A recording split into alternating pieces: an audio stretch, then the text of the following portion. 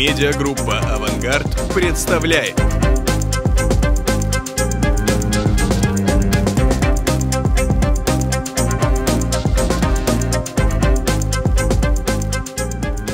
Дамы и господа, добрый день. Э, Я сейчас расскажу э, про действительно способы, подходы, которые мы непосредственно предлагаем, ну и которые используют банки. Первая схема, она самая распространенная. Это классика, это уже то, что вошло, я не знаю, там, в нашу ежедневную работу, вашу ежедневную работу. Это когда у человека просто выманивают реквизиты доступа, будь то это вход в личный кабинет, ну, в интернет-банк, мобильный банк, будь то это карточные реквизиты. И, соответственно, дальше э, как бы производит обнал либо, опять же, через интернет-банк, либо через различные платежные системы, P2P, кошельки, в криптовалюты выводит и так далее. Э, Вариации на эту тему, вот как- какие там используются слова и так далее, схем 100-500. Последняя, наверное, которая вот обсуждалась довольно широко, э, мошенники стали использовать ну, мотивируют, да, как бы жертву э, рассказать свои данные э, на страхе, что сейчас закроют его вклад. Естественно, средства его перестанут быть доступны. И на самом деле, как бы, ну, вроде пока здесь ничего такого криминального нету, да, но мошенник моментально следующим шагом сваливается в классику, опять же просит э, предоставить те же самые реквизиты, которые он делал и раньше без такого подхода. К сожалению, к сожалению, э, это сейчас вот эта схема, она банальнейшая, но она самая распространенная, и банки очень долго к ней приходят, к борьбе к ней. На самом э, очень приятно, и это замечательный шаг, что в прошлом году э, был принят 167 ФЗ, и там прописаны все признаки, которые позволяют вот эту простейшую схему выявлять. Я говорю в первую очередь о, э, об анализе параметров устройства, с которого человек заходит, потому что здесь это работает великолепно. Да? Мошенник заходит с нетипичного для клиента устройства. Это первый прям признак, который бросается в глаза. А В третьем признаке говорится о, о каких-то нетипичных действиях пользователя, нетипичных счетах получателя. И это тоже ну, как бы, довольно очевидно, что надо использовать. Те банки, которые э, подобные системы или подходы используют, там, цифровые отпечатки устройств и так далее, они видят часто, особенно на старте, когда еще не было такой системы у них в руках, э, такую картинку, вот такую розочку. Вот справа внизу это устройство, которое можно обычно увидеть трекингом. Черные точки это геолокация изменения, а вот навер... остальные как бы узлы это учетки.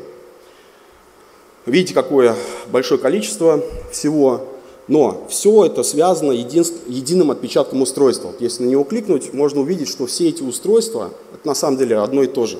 Для банка это видится разными, как бы, не знаю, заходами, да, тем более, что вот в данном случае мошенник, он делает чуть похитрее, чем обычно. Э, Он использовал прокси, который меняет exit point каждый раз. Поэтому вот такое большое облако и геолокаций на этом графе. Э, Что здесь еще выдает э, мошенника, даже без, как бы, его на самом деле здесь легко полить. Он переиспользует учетки, вот они посерединке между устройствами, из раза в раз даже меняя устройство. Он таким образом себя тоже как бы, ну, проявляет, да, его очень легко отследить. Но вот это вот делать можно не только на уровне банка конкретного. Э, Следующий шаг, э, который вот стоит делать, и надеюсь на уровне как раз э, Финсерта и ФИДа антифрода, это можно сделать в режиме реального времени.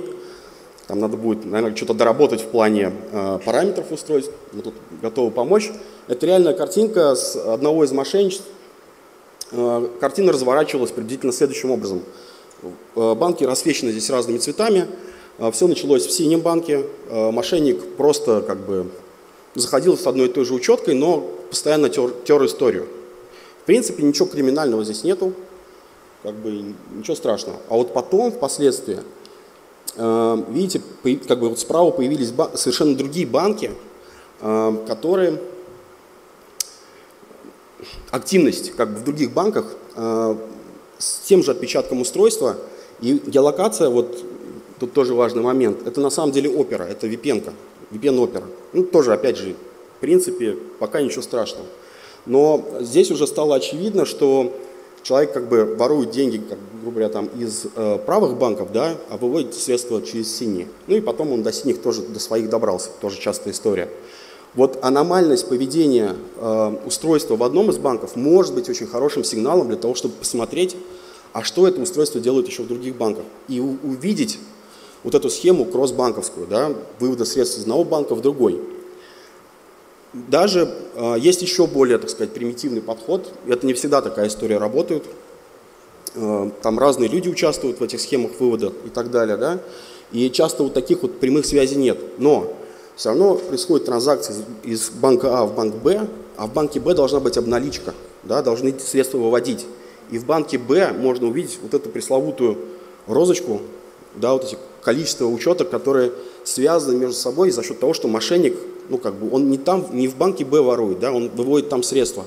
Как раз там за счет единственного мошеннического перевода, который был совершен в банке А, можно закрыть всю его сетку э, аккаунтов, которые он для себя приготовил. Это тоже очень эффективное противодействие социалке. И отдельно хочу остановиться на э, канале вывода как раз через э, карточные, ну, через картный презент операции, да, э, службы там и сервисы. Это самый широкий канал обнала. Собственно говоря, вот свежая статистика от э, Финсерта. Сами видите, там все очень печально. И, э, по сути, проблема в том, что способов реализации вывода крайне много каналов, там 100-500, да, различные сервисы. За всеми банк, эмитент карточки, он вообще не, не может отследить, это не его сервисы. Но, тем не менее, как бы вариант решения этой проблемы есть. Я вот на этой конференции узнал, что один банк уже сделал такую реализацию. Очень э, рады за них. Мы тоже движемся в эту сторону. К сожалению, э, я вот думал, что мы покажем уже статистику какую-нибудь красивую, опять же, красивые картинки, но в банке у нас там несколько проектов идут, и, к сожалению, там у банка сдвинулись сроки. Какая идея? Да? Идея в том, чтобы оказаться на страничке 3DS ровным счетом таким же, грубо говоря, с таким же подходом, как и в системе DBO, с анализом параметров устройства. Эта идея на самом деле уже озвучена и много лет существует в виде стандарта 3DS 2.0. Вот. И, наверное, это тоже один из, э, одна из причин, почему э, туда не очень быстро люди двигаются. Да? Я имею в виду в тему анализа э, типичности устройства, с которого происходит подтверждение платежа на странице 3DS. Все ждут, когда этот стандарт заработает. Но я вас уверяю, мы занимаемся, собственно говоря, этим анализом отпечатков – Э, вот если вернуться на предыдущую картинку, вот здесь э, есть э, примеры, мне не подсветить лазером, там, видите, несколько отпечатков существует, и они между собой связаны вероятностно. К сожалению, отпечаток это не стопроцентная гарантия, что это устройство то же самое. И за, это, за этим стоит очень такая серьезная аналитика. Внедрят 3DS 2.0, вы получите параметры устройств. Следующий шаг – это их проанализировать простой э, матчинг между собой, ну, набора этих векторов, которые вы получите по параметрам строев, он будет работать, но недолго и неэффективно. Чтобы сделать получше, ну, вот, надо будет потратить силы. Так вот, установка, э, ну или там сбор параметров устройства на странице 3DS позволит вам выявить случай, когда происходит подтверждение с нетипичного устройства для данной карты, а еще увидеть случай, когда с одного устройства идет подтверждение по множеству карт, и очевидно, это уже какой-то ну, обнал денег, да, вывод средств с карт. Чем этот подход еще хорош? Он на самом деле захватывает не только э, социальную инженерию, никто трояны не отменял, я чуть попозже там покажу некоторые интересные кейсы, упомяну их. Э, вот. И это позволяет очень хорошо закрыть сейчас, к сожалению, наиболее широкий канал проведения мошенничества. Следующий тип, который, наверное, мы впервые встретили в конце 18-го, начале 19 -го года. Он сейчас сошел на нет. Это была атака через удаленку на ПК, на физиков. Классически это было, как так сказать, специфично для юриков. Да. Здесь вот нашли подход к физикам. Летом, где-то где с мая, да, э, они переключились на удаленку на э, мобильных устройствах. Э, схема приблизительно ну, одна, одна и та же, что на ПК, что на мобильниках. По сути, опять же, звонок э, клиенту, якобы от сотрудника банка, мотивирование его на то, чтобы он поставил удаленку, делается, опять же, под очень большим э, количеством различных причин.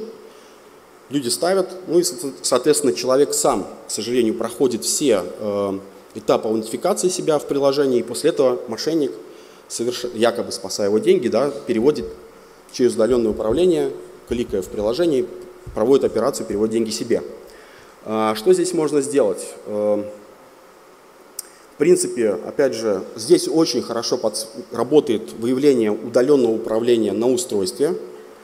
А, некоторые банки, ну или, там, скажем так, вендора предлагают только выявление э, факта ну, наличия да, по удаленному управлению. С учетом того, что оно все легальное, тот же самый T-Viewer, Quick Support, э, ложника очень много. Поэтому э, наиболее эффективным является еще выявление, что прямо через удаленное управление что-то делают в приложении, в целевом, в банковском. Вот, это де-факто уже некоторые банки используют, это очень хорошо и высокоточно да, попадает по мошенникам. И по сути это закрывает э, эту схему. Она становится неэффективной. Э, единственный, наверное, здесь аспект, который еще можно э, упомянуть, наверное, до середины этого прошлого года уже считалось, что iOS, владельцы iOS наиболее защищенные от мошенничества люди, но вот удаленка, к сожалению, на них тоже работает. Там нельзя управлять устройством, Apple позаботился об этом, но э, мошенник видит все, что происходит на экране, а там приходят вторые факторы в виде смс, пушей и так далее. И они это могут использовать, собственно говоря, да, для проведения тех же э, платежей в карточном канале, например. А, поэтому для iOS этот, этот вектор как атаки, так и выявления тоже очень э, рабочий. Э, самое неприятное, что сейчас с чем сталкивается, мы сталкиваемся, да и банки – ну и клиенты, это чистая социалка. Я имею в виду, когда э, человек поверил мошеннику полностью, да, и сам переводит деньги без участия, ну, технического, скажем так, мошенника. Э, тоже вариаций очень много, э, схема старая, и здесь как раз нетипичности, выявление каких-либо нетипичностей э, в, в плане там, устройства и так далее, поведения человека не очень работает. Здесь больше, конечно, приходится опираться на нетипичность операции, да, или уже там на известные случаи э, вывода средств на конкретного мошенника. Э, статистика очень гуляет по банкам, ну, в смысле, какой процент такого мошенничества у них случается. Э, от 5 до 60 процентов. Я ну, специально опрашивал банки, и у меня сложилось такое ну, понимание, что ну, мошенники тоже, они же делают простые вещи да, вначале. Если у банка нет средства который я привел в, первом кейсе, да, то мошенники, естественно, будут вводить деньги таким образом. И чистая социалка им вообще не сдалась. Как только банки этим внедряют, следующий этап – удаленщики. Вот прям мы можем посадить на, на нескольких банках на нашем опыте. Как только банки этот вектор закрывают, вот здесь появляются э, чистые обнальщики. Это более сложный э, для реализации э, схема, да, наверное, с не очень большим выхлопом ну, в зависимости от объема там, клиентской базы в банке. И э, хочется сказать, что, как сказать, есть конкурент вообще социалки, э, когда как только появляется какой-то технический способ э, вывода средств, мошенники переключаются на него, потому что это работает быстрее, да, человеческого фактора меньше, э, вывод средств надежней. Э, и в прошлом году э, появился, скажем так, к нему подходили довольно долго, но в, полном, э, в полной мере реализовали в трояне густов, так называемый, густов.